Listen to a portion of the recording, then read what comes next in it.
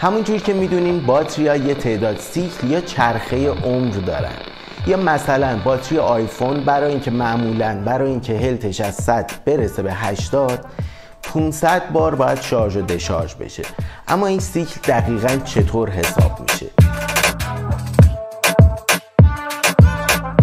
سلام من کیوان هستم و توی این ویدیو می‌خوایم ببینیم این سیکل عمر باتری آیفون دقیقا چطوری حساب میشه. فقط قبل اینکه شروع کنیم چک کنین اگه subscribe هم کردین ببینین subscribe هستش هنوز یا نه و ممنونتونم میشم یه لایک منو مهمون کنید بریم که با هم ویدیو رو شروع کنیم.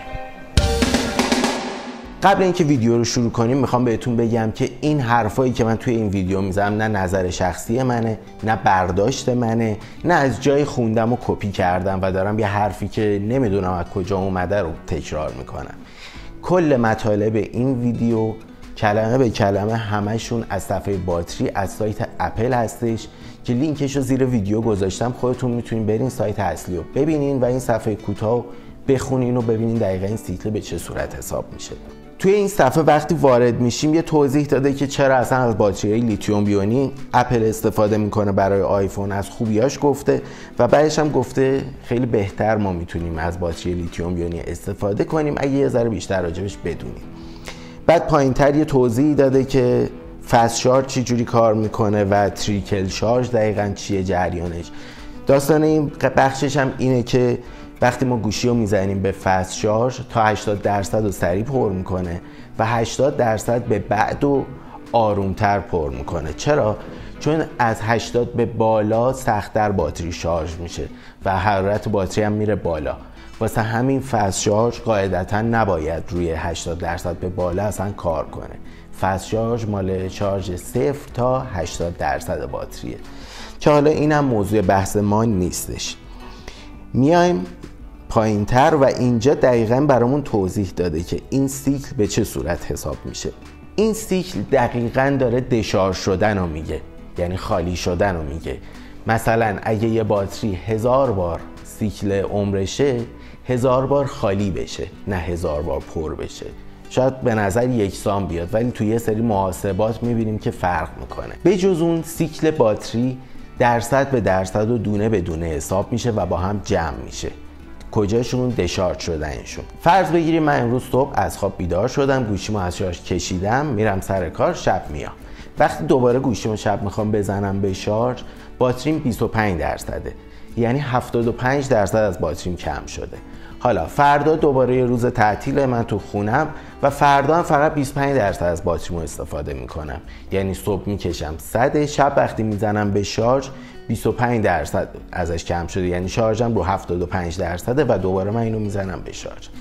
اینجا این 25 درصد و 75 درصد دیروز با هم جمع میشه و مجموعا یک بار این سیکل استفاده شده. یک بار دشارژ شده 100 درصد.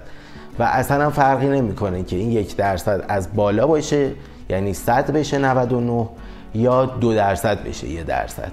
این سیکل از این در... از این درصدها حساب میشه و فقط هم از دشارژ شدن. حالا فرض بگیریم ما کلا سیستم optimize battery charging مون یا همون شارژ بهینه آیفونمون خاموشه.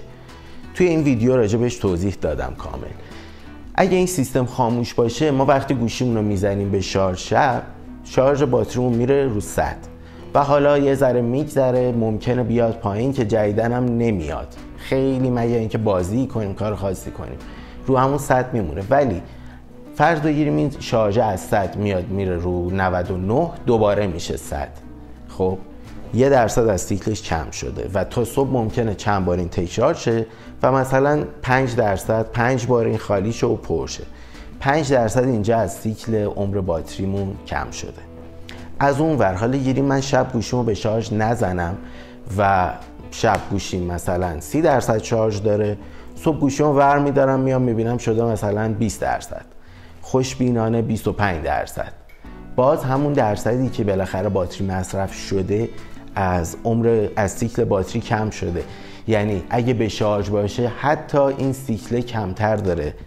تکرار میشه و استفاده میشه. اگه گوشی شب تا صبح به شارژ باشه یا حتی به شارژ باشه ما باش بازی کنیم. البته به شرط اینکه داغ نشه و به گوشی آسیب نزنه.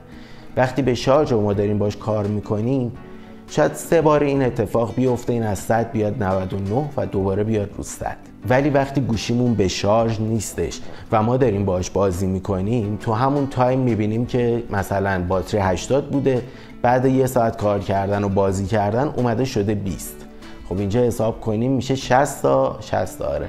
60 تا باز از درصد کم شده.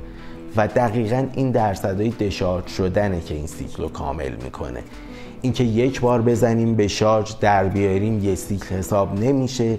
اینکه یه بار صد بشه یا صفر بشه حساب نمیشه و همه اینا می‌تونه به گوشیتون آسیب بزنه. منظورم از اینا همینه که میگن آقا شارژتون رو بین 80 و 20 نگه داریم 20 شد بزنیم به شارژ 80 شد از شارژ در بیاریم که گولش بزنیم یه سیکل حساب نشه. اصلا محاسباتش اینجوری نیستش. بعد می‌دونین چیزی هم نیستش این یه نفر وایستاده قبض صادر می‌کنه یا برای اون ساعت می‌زنه. خب یه بار صد شد پس یه اون یه دونه کم می‌کنی. اگه صد نشده یارو حساب نکنه. باتری یه قطعه است و یه جوری کار می‌کنه. برای اینکه برای کاربر برای من و شما قابل درک بشه اینجوری سیکلیش کردن داستانو. و اگه بخوایم این سیکل رو توضیح بدیم و محاسبه کنیم به این صورت دقیقا حساب میشه درصد به درصد. پس اصلا خودتون رو درگیر چیزای غلط نکنین. این حرفام هیچ کدوم از خودم نیست نظر من نیست برداشت من نیست پس جای غیر معتبری هم نیووردم دقیقا توی این صفحه است که داریم می‌بینیم. اینجام توی یه عکس برامون مثال زده. نوشته که اینجا شارژ 100 بوده. 75 درصد ازش کم شده دوباره 75 درصد اضافه شده. فرداش 25 درصد کم شده دوباره 25 اضافه شده. این همون قصه که گفتم دقیقا از روی همه این داستان گفتم. یعنی اینجا صبح بوده شارژ 100 بوده شب اومدم خونه. منفی 75 درصد از سیکلش استفاده شده یا از شارژش کم شده. دوباره فردا صبح می‌زنم به شارژ 75 درصد شارژ میشه. روز بعدش که تعطیل بود 25 درصد کم میشه و این بالا دقیقا نشون داده که یک سیکل از کجا حساب میشه. دقیقا 75 درصد و 25 درصدی که از باتری استفاده شده و کم شده حساب شده. پس اصلا کاری نداره که این صد میشه صفر میشه چی میشه. باز می‌خوایم مطمئن ترشین یا توضیح رو دقیق تر بخونین.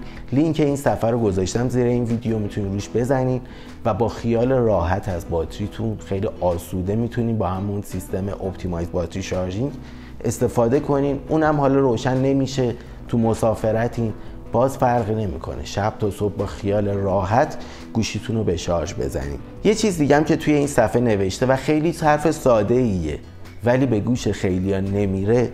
همین این داستانی که اول از همه توی این بحث میگه باتری لیتیوم یون اپلتون رو همین باتری آیفونتون رو هر وقت دوست دارین بزنین به شارژ و هر وقت لازمه گوشی رو بزنین به شارژ.